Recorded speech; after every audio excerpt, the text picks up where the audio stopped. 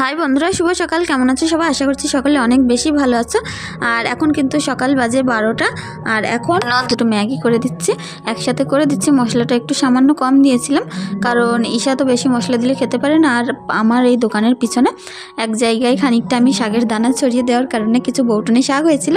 তার থেকে কিছুটা শাক তুলে তুলে নিয়ে এসেছিলাম। আর সেই শাক তোলা ভিডিওটি করা ছিল। কিন্তু কীভাবে যে ফোন থেকে আউট হয়ে গেছে বুঝতে পারছি না। আর তারপরে ঈশার ফিটারটা ধুয়ে নিয়ে আসলাম।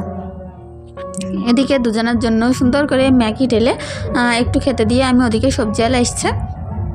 সেদিকেই যাব, সবজি কি কি সবজি নিয়ে এসছে সেগুলো দেখতে। আর আমার কিন্তু সবজি কিনতে প্রচুর বেশি ভালো লাগে। আর মাংসর থেকে আমি বেশি সবজিটাই বেশি পছন্দ করি। এখন দেখো, অনেক রকমের সবজি বাড়ির সামনে নিয়ে এসছে। এতটা পরিমাণে টাটকা সবজি আর নেই, সবজি হালা বলার কথা নয়। আমি তো সবজি আলা আসলেই ছুটে যাই, কী কী সবজি নেওয়া যায়। আর এনার কাছে অনেক ভালো ভালো আনকমন আনকমন সবজি থাকে, তার কারণে বেশি ভালো লাগে। এখন খুব তাজা। টাটকা টমেটো নিয়েছিলাম সেই টমেটোটা ভর্তা করে নিচ্ছি। টমেটো দেখলেই আমার লোভ লাগে। আর এই পাকা টকটকে লাল টমেটো ভর্তা করে এটা দিয়ে এখন সকালে আমি ভাত খাব। সিমরা নিশা যেহেতু ম্যাগি খেয়েছে একটু পরে ডিম দেবো দিয়ে দুপুরবেলা ওদের আহ, দুপুরবেলাটি সকালের খাওয়া ওদের হয়ে যাবে। আর আমার সকালবেলা এই যে এই টমেটো ভর্তা দিয়েই ভাতটা খেয়ে নিয়েছিলাম শুকনো ভাত। আর তারপরে ভাত বসিয়ে দিয়েছি ঈশাকে ঘুম পাড়াবো তার জন্য দুধটা। এর ভিতরে একটু পানিটা গরম করতে দিয়েছি। গরম করে এতে একটু দুধ গুলে দিলেই কিন্তু হয়ে যাবে। আর এই সবজিগুলো আমি নিয়েছিলাম, ফুলকপি এখানে ছিল পেঁয়াজকলি আর বেগুন ছিল ধনিয়া পাতা ছিল অনেকটা, আর এই যে গাটি কচুগুলো দেখো কতটা বড় বড় আর অনেক বেশি সুন্দর ছিল। আজ গাটি কচুটাই রান্না করব। আমার কিন্তু ওল, কচু এগুলো প্রচুর পছন্দের সবজি। মেটে আলু মেটে আলু হলে তো আর বলার কথা নয়, মাংস রেখে। আমি কিন্তু মেটে আলুটাই খাই, ধনিয়া পাতাগুলো খুব বেশি তাজা ছিল। যাই হোক আজ কিন্তু বলে না, কপালে না থাকলে কি? সেই একটা ছন্দে বলে কপালে না থাকলে কি, ঠকঠকালে করবে কি? সেটাই আজ আমার অবস্থা হয়েছে। সকালবেলা কি বলব, চাদা মাছ কিনেছিলাম, নোনা মাছ, এতটা সুন্দর ছিল মাছগুলো বেশ বড় বড় ছিল যে এই কচুরমুখী আর বেগুনটা দিয়ে রান্না করব। আর সেই মাছটা না, সকালবেলা আমি যখন ঈশাকে বাইরে বেরিয়ে খাওয়াচ্ছিলাম, আর দোকানের এক জায়গায় রাখা ছিল, সেখান থেকে মাছগুলো বিড়ালে মুখে করে নিয়ে চলে গেছে। যাই হোক, আমার সেই বিড়ালটা নিয়ে গিয়ে ওদের ওর বাচ্চাদেরকে সকলকে খেতে দিয়ে দিয়েছিল। আমি আর ওদের মুখ থেকে মাছগুলো আর আনিনি। যাই হোক, আমার সকালবেলা মাছগুলো গেছে, অনেক টাকারই মাছ কিনেছিলাম। আর এখন এই যে মাছটা বিড়ালে নিয়ে যাওয়ার কারণে আমার নিরামিষি সবজি রান্না করতে হবে। আর দোকানেও কিন্তু আজ বেশি ডিম নেই, ডিমটা শেষ হয়ে গেছে। তার কারণে দুটো, তিনটে ডিম আছে, তিনটে ডিমই আজ আমি রান্না করে নেব।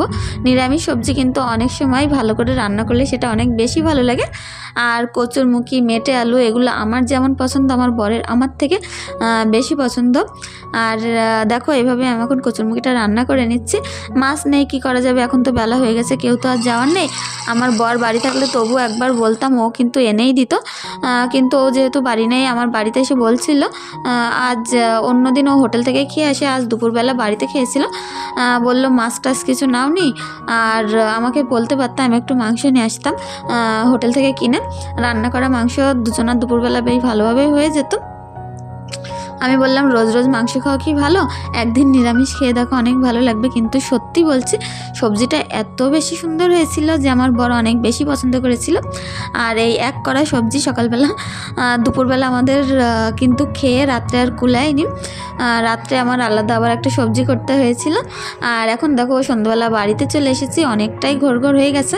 শীতকালে না খুব তাড়াতাড়ি সন্ধ্যাটা নেমে আসে। আর জামা কাপড়গুলো এরকমই ছিল, বাড়িতে তো কেউ নেই যে আমি বাড়িতে না থাকলে অন্য কেউ আমার জামা কাপড়গুলো তুলে দেবে? এগুলো সুন্দর করে এখন ঘরে তুলে নিয়ে আসলাম। বেশ খানিকটা ভিজে ছিল ঈশা অনেকটা বেশি জ্বালাতন করছিল। ঈশাকে কিছু খাইয়ে তারপরে জামা কাপড়গুলো মেলবো। আর এখন দেখো, ফুলকো ফুলকো চপ নিয়ে চলে এসেছি। কত সুন্দর ফোলা ফোলা চপগুলো একেবারে পিঠের মতো লাগছে যেন দেখতে। আর আমাদের বাড়ির পাশেই কিন্তু চপের দোকান। সেখান থেকে নিয়ে এসেছিলাম চপগুলো, কি বলব, খেতে অসাধারণ ছিল। শীতের দিনে সন্ধ্যাবেলা এরকম চপ খেতে কিন্তু প্রচুর ভালো লাগে। কার কার ভালো লাগে অবশ্যই কমেন্ট করে জানিও। আর কালকের ব্লগটি তোমাদের সামনে যে ভিডিওটি দিয়েছিলাম সেটা তোমাদের অনেক বেশি ভালো লেগেছিল। একজন আমাকে বলেছে কমেন্ট করে যে আমার কাজগুলো অনেক বেশি ভালো লাগে। সত্যি তোমাদের এসব কমেন্টগুলো পড়ে না মন ছুঁয়ে যায়। আর এখন রাত্রিবেলা ঈশা, সিমরান দুজনের জন্য একটু দুধ ভাত নিয়ে নিচ্ছে। সিমরান সাধারণত কোনো দিনই মিষ্টি ভাত খায় না।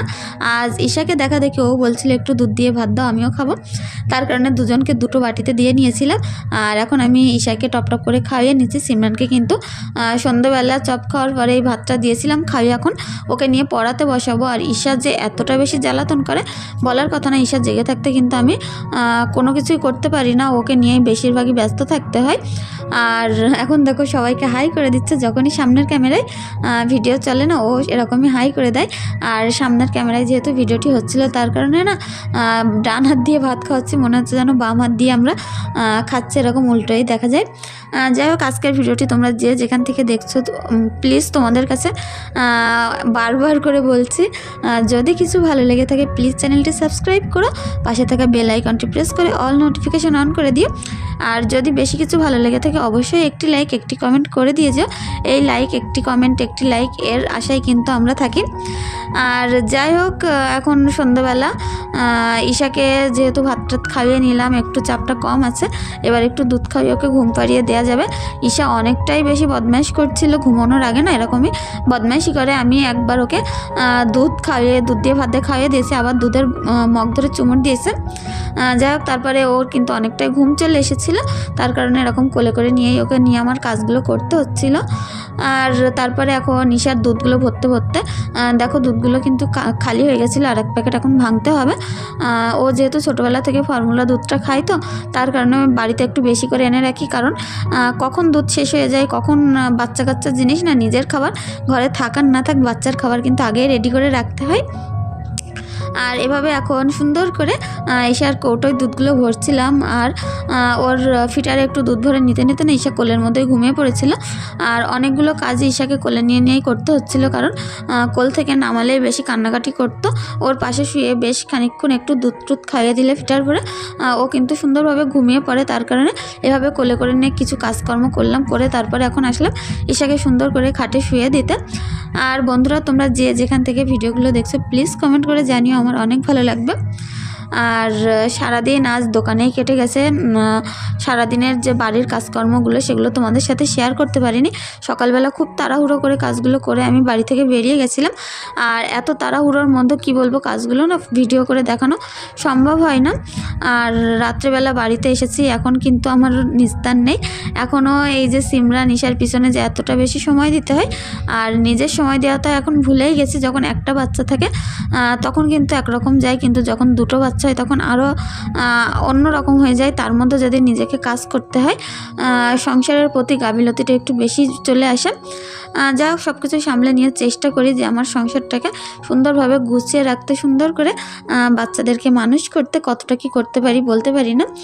আর যা হোক, আমরা যেটুকু আছে, যতটুকুই আছে, তাতেই খুশি। অনেক ভালো আছি, এটাই ওপরওয়ালার কাছে কামনা করি, যেভাবেই যেন ভালো থাকি।